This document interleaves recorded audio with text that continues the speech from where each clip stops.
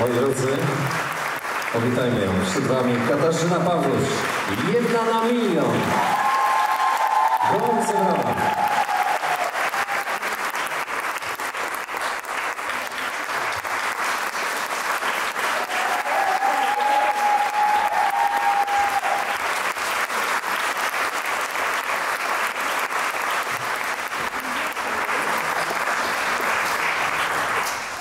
Słuchajcie, muszę, y, już, jest, już mnie słycha, sły, słychać już mnie? Witam Was bardzo serdecznie.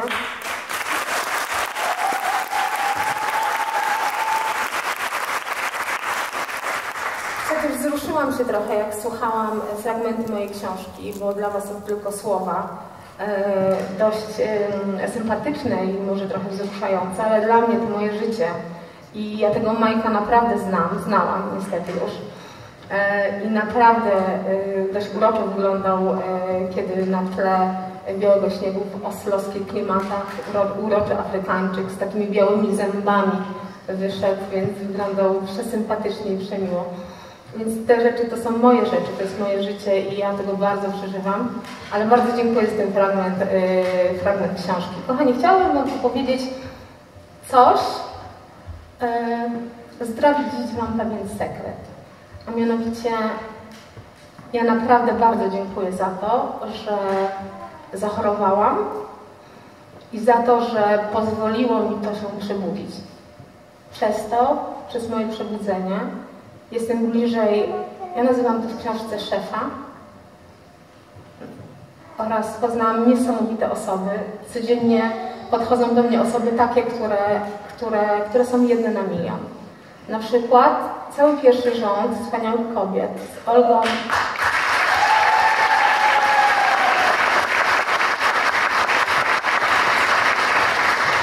E, dzięki którym uwierzyłam, że naprawdę wszystko jest możliwe.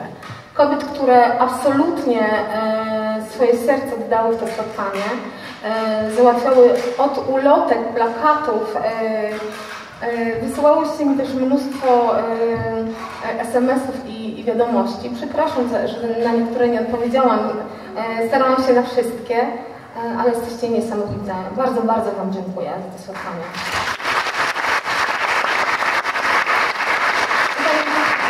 Zanim opowiem Wam o moim przebudzeniu, zdradzę Wam taki sekret, który bardzo chciałabym, żeby każda z Was wzięła sobie do serca. I żeby od dzisiejszego dnia, codziennie rano wstawała do... Mm, wstawała e, rano z łóżka i szła do lustra i mówiła, jestem piękna, jedna na milion. E, Chciałabym bardzo, bardzo podziękować em, człowiekowi, który pojawił się w moim życiu absolutnie niespodziewanie. Podejrzewam, że po wywiadzie mm, z Łukaszem Jakubiakiem, który zresztą stał się moim bardzo dobrym e, przyjacielem, e, a mianowicie kobieta, która, która swoją ogromną siłą i determinacją e, po prostu stworzyła to spotkanie. E, Olga Ślusarczyk. E,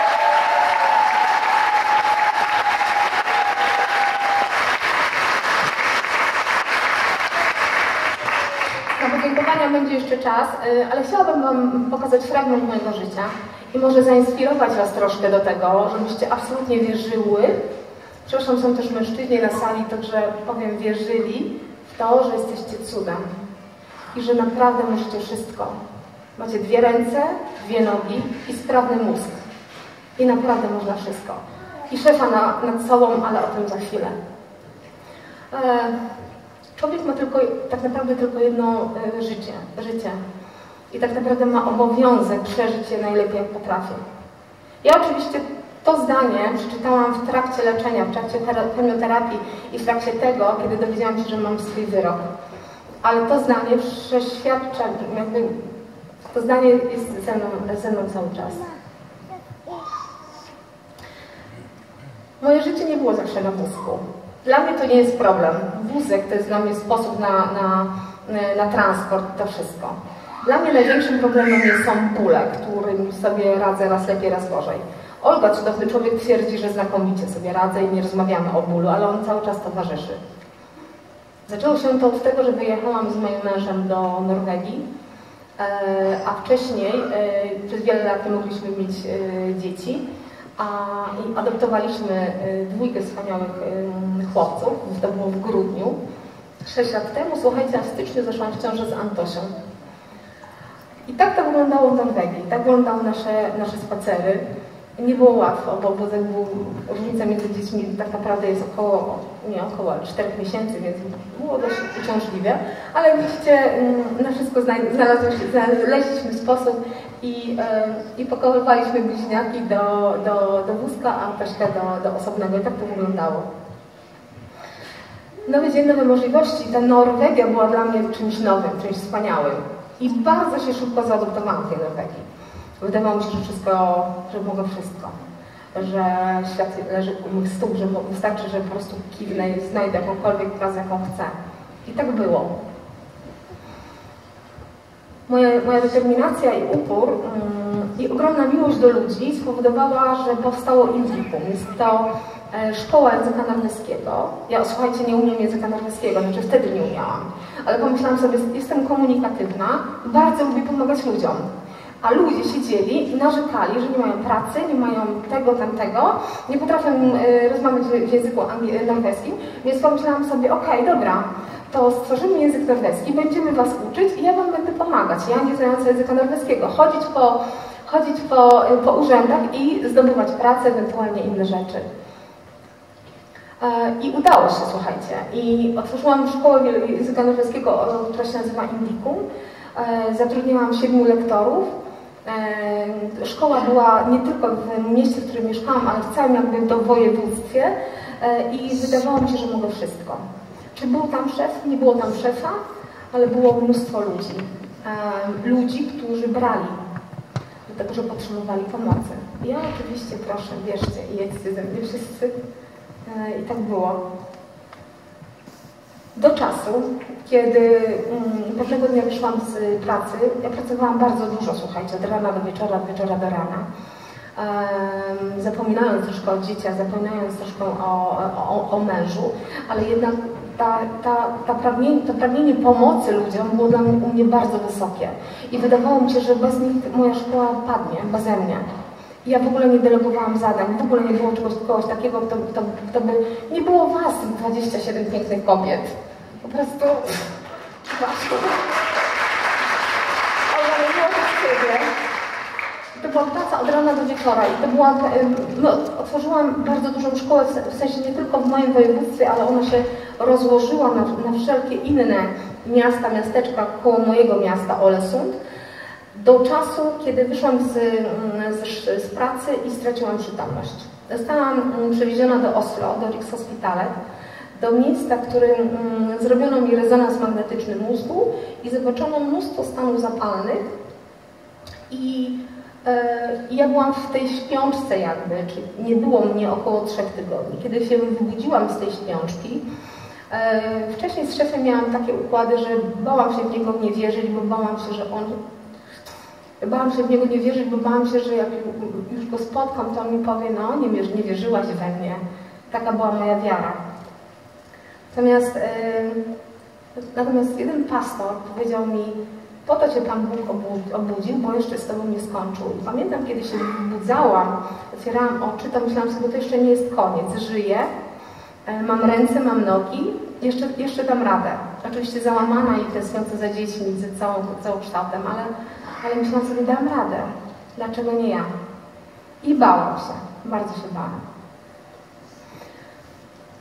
Postanowiłam jednak nie myśleć o tym, że ja umieram, czy jestem chora, tylko wyciągnąć z tego wszystkiego jakieś pozytywy. I myślę sobie, no halo, ale jak? Pozytywy z wózka? Pozytywy z tego, że nie ruszam ręką? Ruszam, ale palcami nie. Pozytywy z tego, że tracę świadomość? Pozytywy z tego, że boli? Pozytywy z tego, że nikt nie wie, co jest? Jak? I pamiętam, siedziałam i tak mówię, mówię do szefa, jeżeli jesteś, to niezły żart.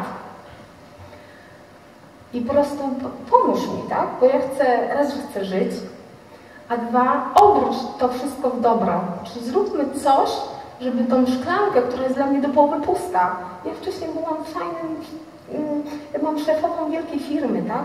Tu nagle wózek, sparaliżowana, z utratami świadomości, z utratą pamięci, bo mam ją na trzy doby. Obiecuję, że zrobię zdjęcia i będę Was pamiętać. Myślę, jak? I wiecie, i um, kiedy podniosłam się z tego łóżka, przeszłam kawałeczek um, po korytarzu spotkałam Majka, o którym słyszeliśmy przed chwilą, i inne osoby, bo jestem na oddziale neurologii, która jest, która jest oddziałem diagnostycznym, ale też takim oddziałem, do którego są pacjenci, którzy po prostu umierają, czyli już mają tą diagnozę, e, e, niestety nie, nie, nie, nie, niedobrą i oni już są przed tym momentem po prostu odejścia na drugą stronę lustra. I ja zaczęłam z nimi rozmawiać i oni byli tak spokojni, tak miłośni, tak uśmiechnięci. Ja myślę sobie, zaraz, przecież ty zaraz przecież umrzesz, jak możesz się cieszyć, z czego? I myślę sobie, czyli na tym to wszystko polega, że to moje życie jest jak szklanka do połowy pełna. Ja mogę bardzo dużo rzeczy z niego, z niego wyciągnąć. I mogę powiedzieć ludziom, mogę pojechać do ludzi powiedzieć, że są piękni, mają dwie ręce, dwie nogi sprawny mózg i po prostu niech żyją, niech, niech robią wszystko, żeby żyć, normalnie żyć. Ja nie chodzi mi o to, żebyście byli bogaczami, bo dla mnie jesteście bardzo bogaci wewnętrznie, ale żyć, żeby nie marudzić rano, żeby zrobić wszystko, żeby e, każdy dzień był jeden na milion. Bo dla mnie każda z Was, każdy z Was jest jeden na milion, bo możecie wszystko. Mm ja się zmuszałam do przekraczania własnych granic. Bardzo mnie bolało i boli do dzisiejszego dnia. Ja codziennie rano wstaję z ogromnym bólem głowy, bez diagnozy, bez niczego, ale spotkałam tak niesamowitych ludzi, ludzi, którym, którym pomogłam e, dzięki szefowi przejść na tą drugą stronę lustra i uwierzyć, że są jedne na milion. I kiedy, kiedy dana osoba przechodzi na drugą stronę lustra, mówi do mnie, Kasia, to jest prawda, ja naprawdę jestem jedna na milion. Jestem ładna, i, i wszystko będzie dobrze i wszystko, i wszystko się może zdarzyć. I postanowiłam, że przed, przed tym, jak ja nie przejdę na drugą stronę lustra, każdemu z Was, każdej z Was opowiem, że naprawdę może wszystko. Naprawdę macie dwie ręce, dwie nogi i sprawne mózgi i możecie wszystko. I jeszcze jedna rzecz. Kiedy osoby przechodzą na drugą stronę, one są pogodzone z szefem Szefem czyli nazywam Boga, nasz, Boga naszego, bo one wiedzą doskonale, ile mogą zyskać. Trochę się boją nie wierzyć, ale wiedzą doskonale, że tam On jest i On nie, da, nie, nie pozwoli nas skrzywdzić. Ale pierwszą rzeczą, którą Wy musicie zrobić, to codziennie rano uwierzyć w to, że jesteście piękne, patrząc się w lustro. Codziennie rano idziecie do lustra i mówicie, jestem ładna, jestem fajna, mam wszystko, mam dwie ręce, dwie nogi i sprawny mózg. I naprawdę możecie wszystko. Przepraszam, do mężczyzn to też się dotyczy, ale mężczyźni mają chyba łatwiej.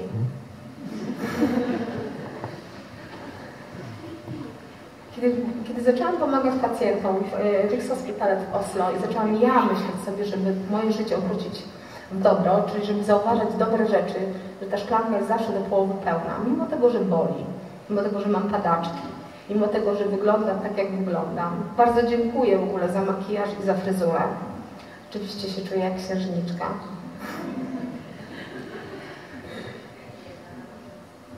To pomyślałam sobie, chcę spełnić swoje marzenia. I wszystkie te rzeczy, które opisuję do ludzi, mówię do ludzi, widzę, że, że, że działa, że ci ludzie się uśmiechają, że ci ludzie chcą żyć, chcą poznać siebie i chcą poznać mnie. Postanowiłam napisać książkę. I ja w tej książce, słuchajcie, nie, nie odkrywam cudów. Ja po prostu piszę w tej książce, że jesteście cudem, że każdy może wszystko. I o, oczywiście opisuję swoją historię, opisuję Majka na przykład, albo inne osoby, ale bardzo moim marzeniem ogromnym jest to, żeby ta książka dotarła do każdego z Was, żebyście po prostu uwierzyły, że możecie wszystko. I mężczyźni też, przepraszam, w formie um, damskiej. Postanowiłam wydać książkę Jedna na milion i od tego momentu, kiedy zaczęłam ludziom mówić, że mogą wszystko i są piękne, czyli takie rzeczy, które ja wiem, które są normalne, słuchajcie, są zapraszane na spotkania z ludźmi, którzy płaczą, którzy w siebie nie wierzą, którzy są często często chorzy.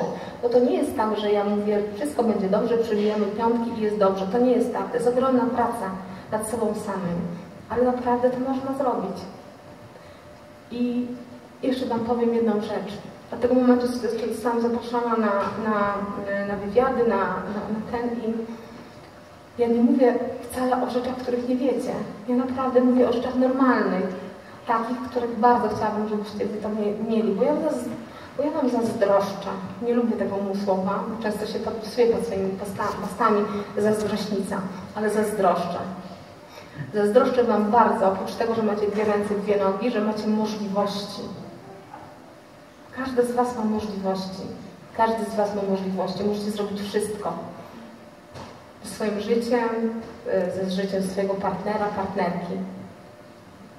E, I mi powiedziano ostatnio, że gdzieś tam ten mój czas na, na, wśród nas jest ograniczony.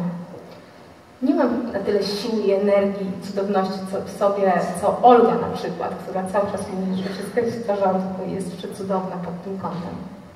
Nie tylko pod tym.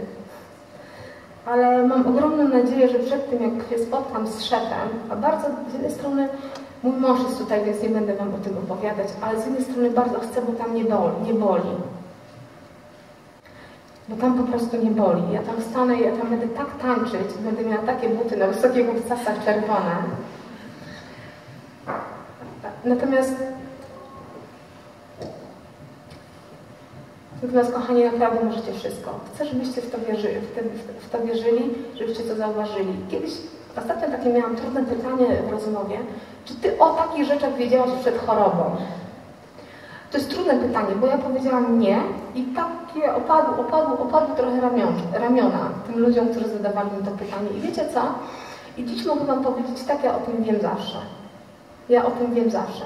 Tylko nie miałam wcześniej odwagi, żeby o tym mówić, żeby żyć. Żeby ży ja, ja nie, żyjąc nie żyłam. Bo co z tego, że nie były pieniądze? Co z tego, że były, była Norwegia i mnóstwo wywiadów, fotografów, wizytów, wizyt i i tak dalej. Tego w ogóle nie było. Ale ja nie żyłam wtedy. Więc wiedziałam o tym zawsze. Mam cudownych rodziców, którzy wychowali mnie jako pewność siebie i cudowną, e, dobrze mm, uśmiechniętą osobę, ale ja o tym zawsze nie wiedziałam. Więc tak, dziękuję chorobie, że, że przybliżyła mnie trochę bardziej do życia. Poznałam bardzo dużo, mnóstwo fajnych ludzi, cudownych osób. Was, oraz y, osób, które zapraszają mnie i pytają mnie, Kasia, jak Ty to robisz, że się uśmiechasz? Przecież Ty umrzesz. Więc mówię, zawsze opowiadam, jeżeli ja będę patrzeć na moje życie jak na szklankę do połowy pustą, to ja Wam powiem, bardzo nie, dużo rzeczy nie mam. Mam sparaliżowaną jedną część ciała, mam sparaliżowaną drugą część, y, mam jedną stronę chudszą, drugą grubszą, bardzo dużo rzeczy nie mam. Najgorszy dla mnie jest mózg, który niestety, ale, e, ale szwankuje od czasu do czasu. Ale ja nie, powiedziałam, nie będę, nie poddam się. I będę się cieszyć do samego końca. I kiedy, kiedy mnie widzicie w szpitalu na przykład, a to często jestem, to ja nie jestem kobietą leżącą w łóżku. Nie. Bo ja powiedziałam, że mój cel się spełni ja powiem każdemu z nas, y, że jest jeden na milion i może wszystko. I ja trochę latam w tych pokojach, jak ten wariat. Y, I trochę to, trochę to mówię dosyć często, ale to działa. Działa nie tylko na nich, ale też na mnie. Ja uwielbiam dawać miłość, uwielbiam dawać radość i, i mam nadzieję, że tak będzie zawsze. Nie było zawsze lekko. Nieraz jestem podpięta pod kable i, i podtrzymująca życie. I kiedy jestem na to, po tej drugiej stronie i mnie tam już nie boli, to myślę sobie, to myślę sobie, to myślę sobie, nie, jeszcze tam, jeszcze muszę tu wrócić, bo mam całą rodzinę i mnóstwo rzeczy do, do, do, do powiedzenia. Jeszcze dużo ludzi nie słyszało, że jest jeden na milion. Jeszcze dużo ludzi nie przeczytało tej książki. E, I nie wie o tym, że cuda się zdarzają, że wystarczy usiąść, otworzyć oczy i popatrzeć na siebie. Wystarczy to zrobić. Życzę Wam, kochani, radości, miłości. Życzę, życzę Wam przebudzenia, czyli tego, co mnie spotkało. Dzięki chorobie, dzięki bólowi, yy, absolutnie dzięki temu, że odkryłam, że szef po prostu jest niesamowity i cudowny.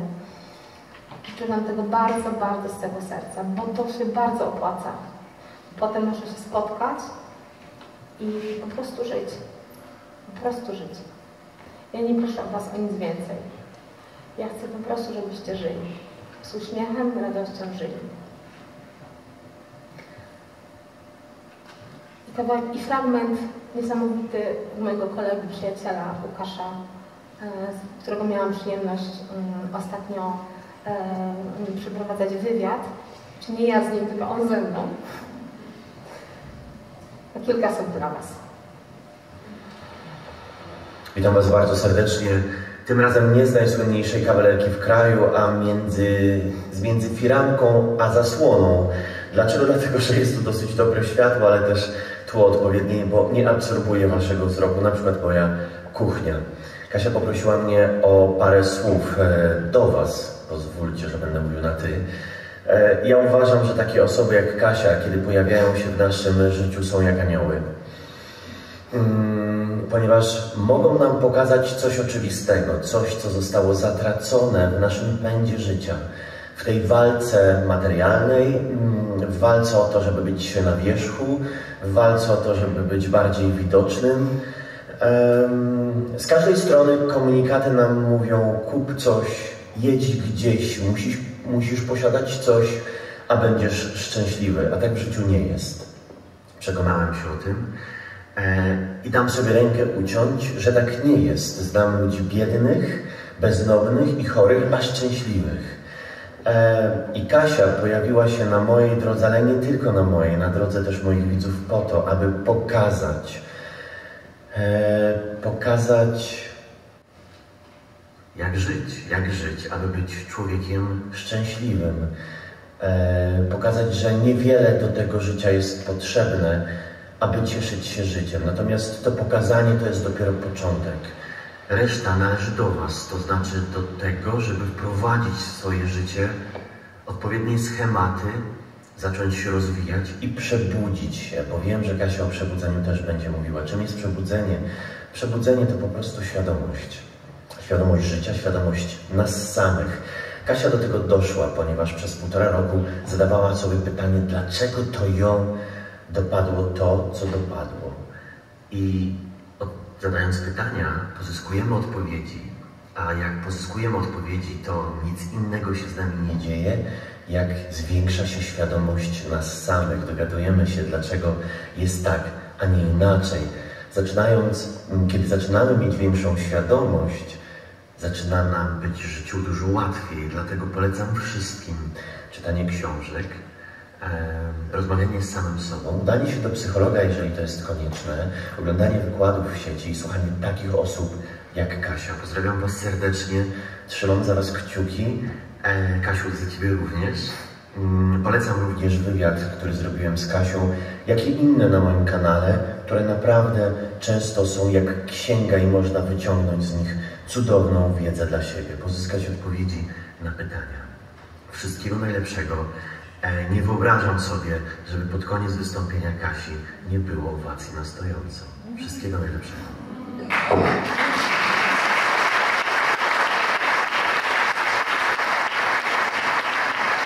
To jeszcze nie koniec, więc tych owacji na stojąco jeszcze nie będzie. Można się do Ciebie przysiąść. Pewnie, oczywiście. To ja sobie w takim razie na fotelik